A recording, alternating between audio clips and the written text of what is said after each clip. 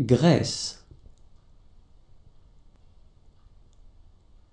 graisse animale. Graisse végétale.